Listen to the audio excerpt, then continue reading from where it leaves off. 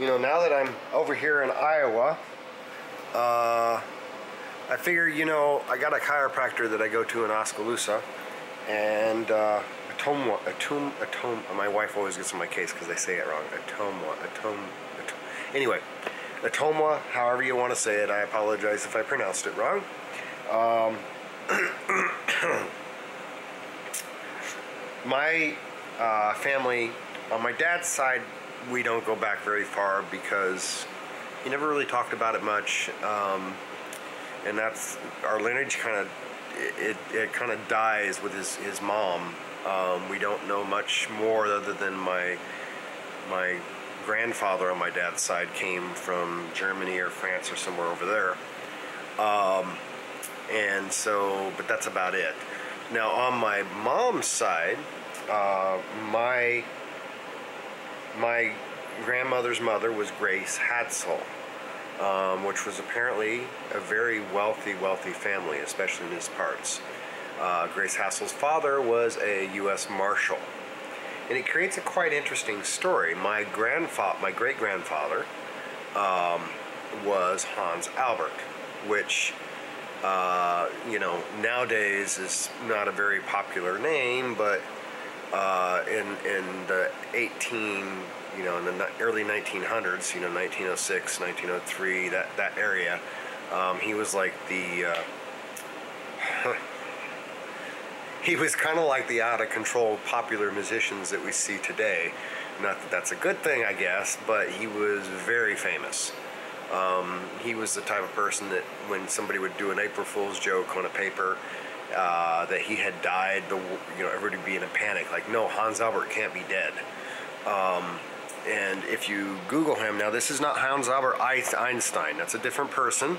This is just Hans Albert. So I'm going to give you a brief history on Hans Albert, uh, what I know about him. Um, you'll find uh, thousands of newspaper articles of, uh, over the United States that have reference to him. Um, I wasn't able to go through all of them, but I did go through several hundred, so I know they for, for sure reference to him. Um, and I've got this written down, so I'll just read it. I know it's going to be boring, but I'll do the best I can because it's it's kind of uh, a summary of who Hans Albert was. Professor Hans Albert was a world famous violinist in his day. He was born in Vienna and he became the protege of Emperor Franz Joseph at the age of nine and studied under Swedermann.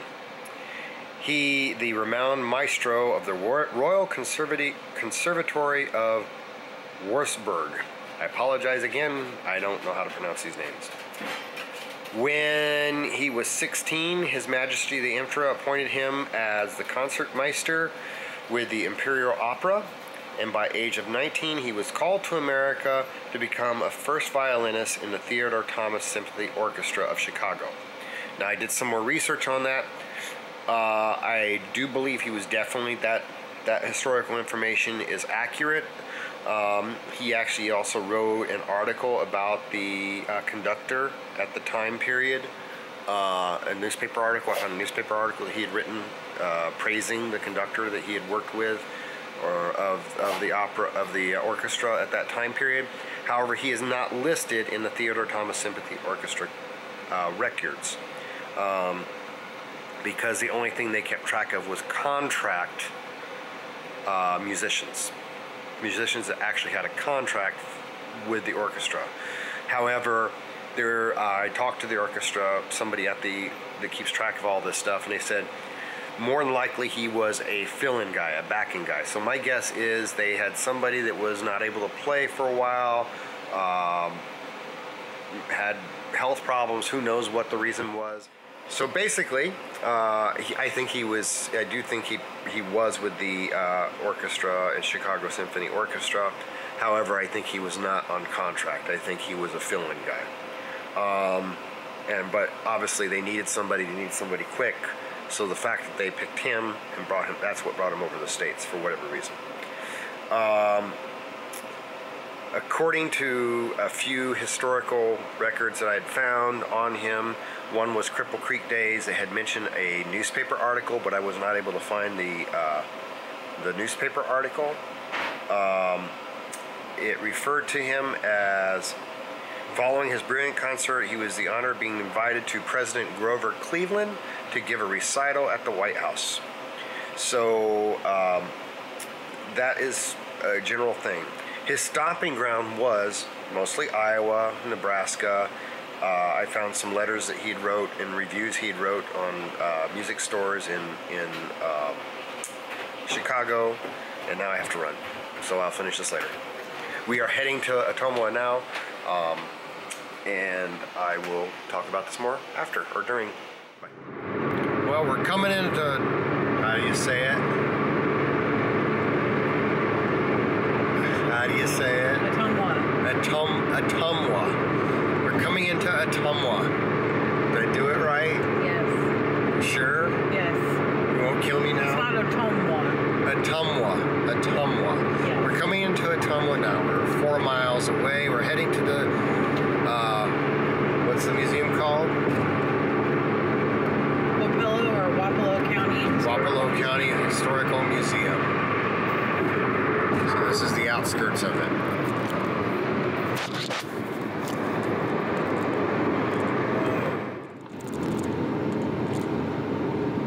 So here's Main Street. So the The market on Main destination is right is on your right. 210 West Main Street. Must be right here. Yep. Cool. Navigate to Market on Main. at Wapello County Historical Museum. To Market on Main. So here we're starting our first stop at the museum.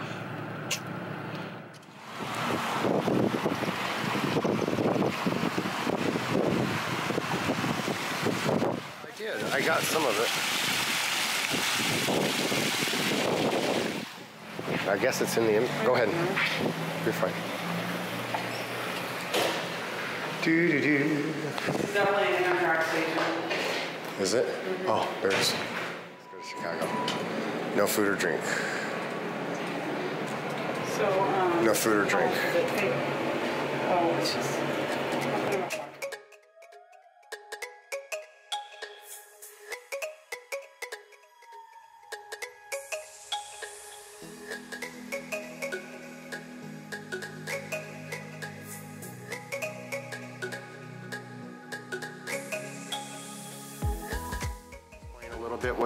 pictures are, what this what this is. So oh. this is what's this about? This is the Gothic house. I don't know much about it. I just know that it is the same house that they did this famous painting. The farmer and his wife painting thing. Right.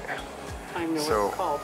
It's called the American Gothic Oh, by yeah, Grant duh. Wood. So that's the Amer- American Gothic house right there. Here Right. And then here, Buffalo County. Go over here is a newspaper article where the looks like a class. Um, anyway, a bunch of people went. This is 1983. This picture was taken in front of it in 1983, but there's the house. Cool. The picture of her later, the lady that posed for that picture. Her name was Nan Wood Graham.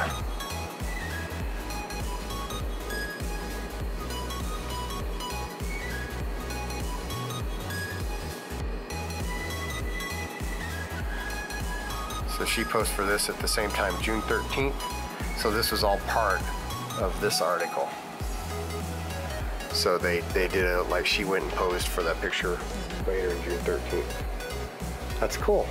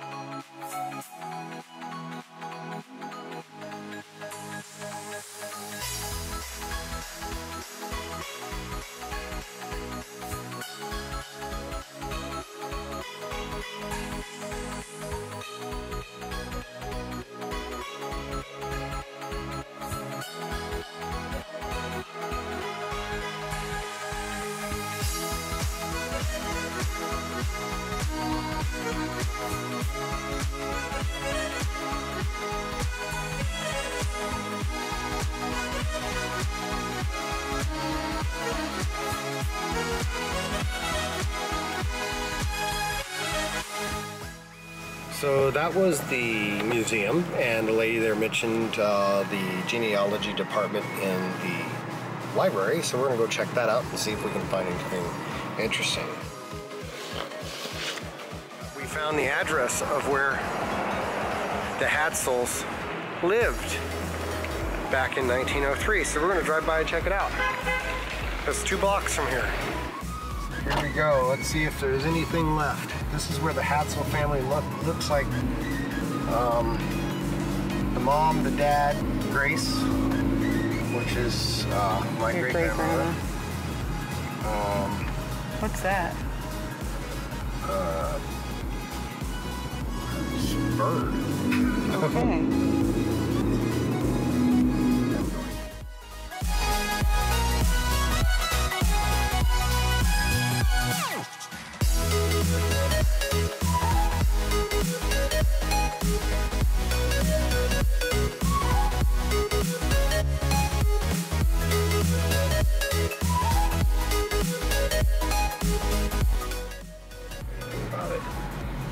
So this is the street she lived on. According to the books, it was 227. And this this was it right here. This That right there, according to the books. Because this other one here is Whoa, John. 225. Yep. Well, go in. I'll be right here. All right. I'm not going in there. So there you go. Okay. This they lived on a big hill. Yeah. So now we're going to go ahead and go to the other Hadsel that apparently moved from into the area a year Take a after. right up here. Uh, Cora, was that her name? Cora. She lived in 411 what West Maple Yep. Avenue. So we were going to, and there was only one Washington, right, in this town. Hopefully there wasn't an avenue. street. Oh, damn, run out. This house here uh, is now on this street. According to the map, it would be this house. And the door I went up, they didn't have any idea, but the door I went to really doesn't look like a main entrance. And there is a door on the street it looks like one time it could have been more the main entrance because from basically just peeking in their house, it looked like their living room. And the door I just went to that's on this street is actually right into their kitchen. Um, so I'm going to guess that this huge house right here is 411 West Maple. Yeah, 411 West Maple is probably what its address was, and being the road never went through and became a driveway, um, they changed it to be on the, the cross street. They changed the address. So here's the house. I'm gonna we're gonna go back up the road and then ride back, and, and Robin will point it out as we go, and you'll see the, the where two cars are parked right now. Uh, she'll point that out. Is is was apparently a street at one point, and that was the front of the house faced that street, and now it's just people just park their cars there. So um, anyway, I believe this is where the other Hadsel uh, lived, Cora Hadsel, which I have no idea who that was. Why is it on me all of a sudden? Why not? Why not, Robert? Why not? Okay, so do- can I turn it down now or put it down? yeah. Yeah, I'm gonna go down Okay. this way. Oh, you are. Yeah, so here's the driveway that Yeah, used to be a street. The driveway. And so 411 would be to the right. And as you can see where they have the trampoline, my guess is used to have a way to get up there because there's a door out there and it looks like it was their front door. Mm-hmm. And here is the house. And that was probably the front of the house right there. And there's the door. Can you see the door on the camera? nope. You should have. Um. Right there? Oh yeah, I can. And so my guess is that was the front of the house. Yep. and this was the back of the house. And that was the house. So that was the Hadsel house, the second Hadsel house, back in 1903, which was pretty darn big. All right. So that's all I'm going to do for research today. Gives me an idea of what's available. And uh, maybe next time, a couple months, we'll come down here and check So out is it up here? yeah, it's right over this hill. Heel. Yeah, hill. Hill. Okay, so it's right up here. The one with the green roof. Green roof. Yep. I guess that's green. Yeah, something. Yeah. Okay, so Yeah, that's definitely the back of the house. yeah, I think so too. So that's 411. And that used to be a street. Mm-hmm. So now we're gonna go towards downtown. Oh, I should have went one more street over. Why? Because this isn't it. Oh, This is where the library was. is that a Hardee's? Pizza Hut. Oh, I thought tiny little Pizza Hut. Is this a one-way? Yeah. No, Okay. I don't know. Yeah, no, I don't know. Yes, don't worry. I'll make sure that you get some camera time, honey. That's what I'm trying to say. Okay, now we're on Main Street. Atom, Atomwa. Atumwa? Atomwa. No. Atomwa? There's no U in Atumwa. it. How do you say it again? Atumwa. Atumwa? I mean, there's no. Oh, God, never mind. never mind. I'm dumb. I was like, I'm confused. I thought I said it right. No, you did not. So there was the museum. Mm-hmm. Down here is supposed to be the The, oh, the market. yeah the market. In a quarter of a mile, the destination is on the Flea left. Market. Flea market. Boy, there's a lot of empty buildings. I guess their economy's Yeah. not doing so great here. Yep. It looks kind of gross down here. This is a nice looking building. It's been restored. There's not anything interesting in it. There's nothing in it. Well, What's that? The a bus station, train Hmm. station. What's this right here? I like whatever Uh, it is. TV appliance. Oh, I like the. I don't know why I like it though. Like you just park here. I don't want to go there though. You don't want. Oh. I want to go there, but I want to eat. Oh, okay. Well, okay. You confuse me. All right. You wanted to go down Main, not me. Oh, okay. Well, then we need to figure out where we're gonna eat. Here. I can't see. I got a big camera in my face. Yes, yes, you do. I was just making sure you got camera time. Yeah. So now we're gonna go eat. Where are we eating, Robin? Bubba Q's. Bubba Q's, Navigate to Bubba Q's. which is everything sucks because Actually, why don't we go to um, the market first? Just because I'm afraid of my clothes. okay, let's go to And market first. um, It's yeah, right we can behind take us. it the whatever we buy and with us. You mind if we just walk to it from here? Huh? It's just right there, It is. How far? right there. Okay, but should we be parking here? Uh, yeah, it's not like he's got a crowded parking lot. She never believes me. Okay, so we decide we're gonna go to the market on Main first, and then we're gonna eat. I don't know what this is. It's a market. This is interesting. Is this not what you thought it was? I thought it was a market. This is a restaurant. I'm confused.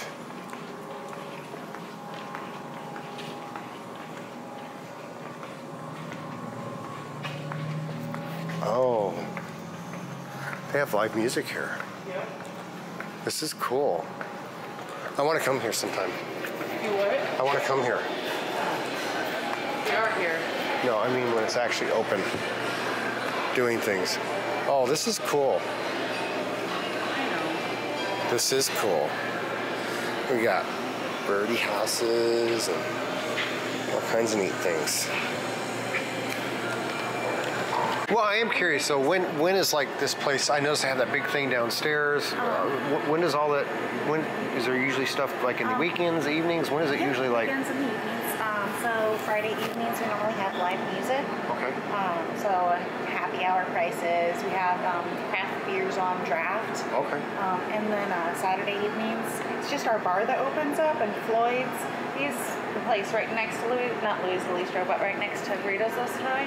And he's got a what was it? He's he's going to be the only vendor that's available on Saturday That's nights. nice. So just because it's hard to have hours for everybody. Now you, know what I mentioned mean? there was one that does lettuce wraps. Was that here? I think it might Oh, be yeah. the deli. That's the one Or that's the. Mediterranean uh, Oh, the Me- oh, the Mediterranean. Yeah. Okay. Oh, okay. Um, and then uh, what else? And then Tuesdays we have sushi. Um, So I guess it would be. She was going to. Do you have like a thing that has a list of times or? not? it's Floyd's just opened, and then the Mediterranean Bistro kind of just opened as well. Oh, okay. So playing with times. honestly, but let me go look right now to see what time. Okay. um, Jonathan will be back in. Okay, thank you. So Robin's gonna try rabbit, rab, robin jerky. Robin's gonna try rabbit jerky. Robin Yeah, it died.